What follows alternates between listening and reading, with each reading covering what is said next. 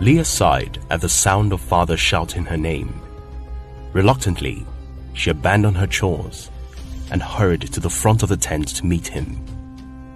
Father walked into his camp of encircled tents, a wide grin on his face, and his right hand clasped around the lower back of a young man much taller than him.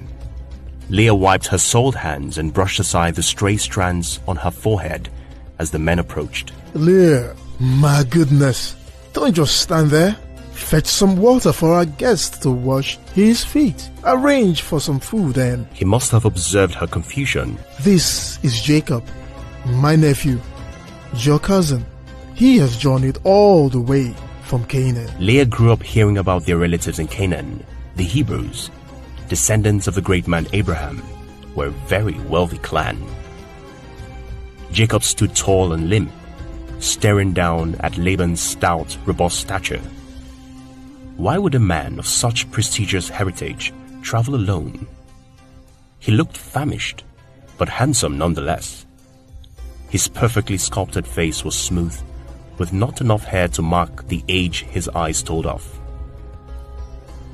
His skin looked like it was sun-kissed for the first time. Their eyes met, and he smiled at her. Heat flushed through her like warm water from her cheeks, down her body, and then to her feet. Welcome to Haran. She muttered, rendering an awkward bow before running behind the tent. The kitchen buzzed with the news of the Hebrews' arrival as the female servants prepared for a feast. Leah took a deep breath, spewed out instructions, and got busy herself. Jacob, her own kinfolk. Could it be the gods have answered? All these years of bearing the silent blame. Surely, if she were out of the way, her younger sister, Rachel, would be married in a heartbeat. The men of their tribe knew the custom. The older sister must be married before the younger. Yet, how many men had come seeking Rachel's hand only to be turned away by father because of her? Father would speak with all his persuasive power. Leah, my daughter is truly lovely. She reminds me of her mother and why I married her.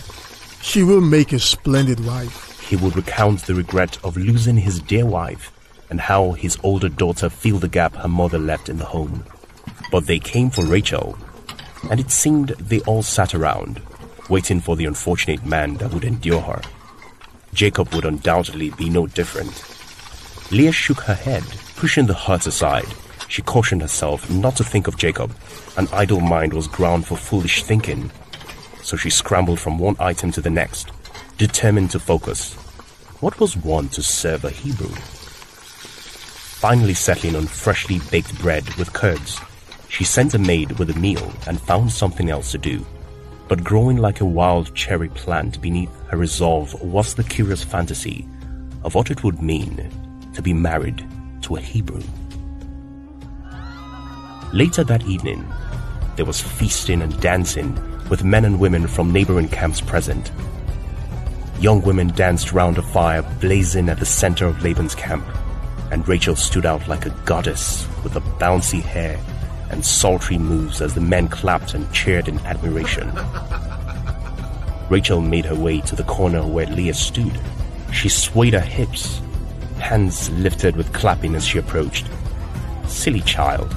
There was work to be done, and she was dancing.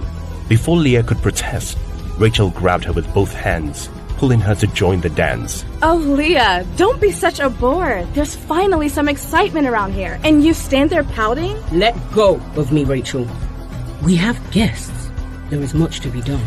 Ha! Indeed, dear sister. Rachel let go of her hands. You must permit me to go play my part. She danced her way back to the fire as the men cheered in applause. Leah scowled. Her sister's love for attention irritated her. The truth was, she couldn't dare dance in front of all those people and risk embarrassing herself. How did it feel to be so admired? Father shouted something, and his sons laughed at the top of their voices. They were sitting with Jacob in the visiting porch of Laban's tent, but Jacob appeared distant and uninterested in the jesting. Lifting his head, he caught her eyes and nodded. Leah grinned. sheepishly, Jacob. She should have paid better attention to her appearance.